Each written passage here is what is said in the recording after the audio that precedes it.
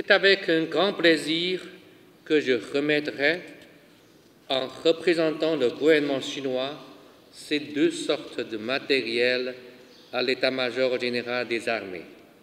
Il s'agit des matériels médicaux sous forme de dons offerts par le ministère chinois de la Défense nationale de montant de 30 millions de yuans, soit équivalent de 2,6 milliards francs CFA, et le premier lot de matériel sportif offert par l'ambassade de Chine de montant de 23,8 millions francs CFA, dont le deuxième lot sera livré bientôt.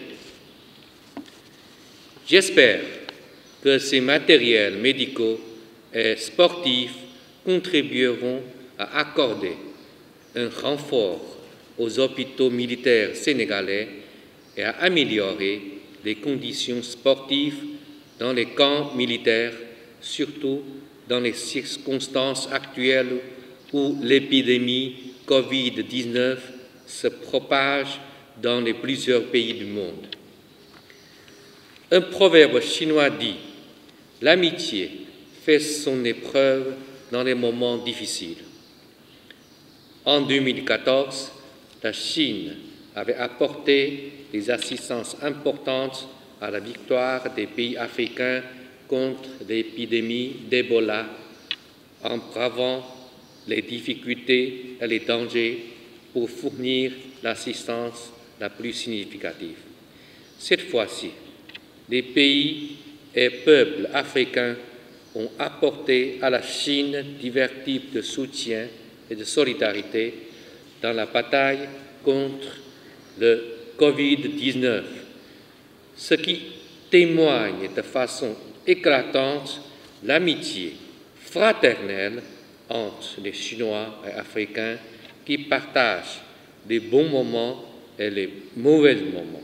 C'est pour moi l'occasion idéale de magnifier l'excellence des relations historiques entre la République populaire de Chine et le Sénégal.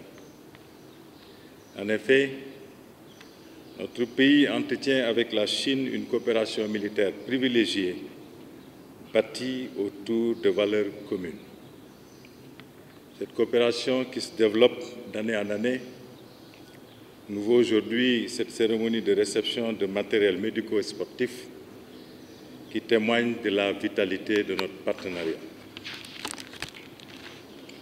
Ce don permettra de renforcer le plateau technique du service de santé des armées, particulièrement l'hôpital militaire de Wakam et les centres médicaux interarmés en améliorant significativement l'offre de soins relative aux soins courants, à la chirurgie conservatoire, conservatrice, pardon, aux soins post-opératoires, à la réanimation et enfin aux soins intensifs.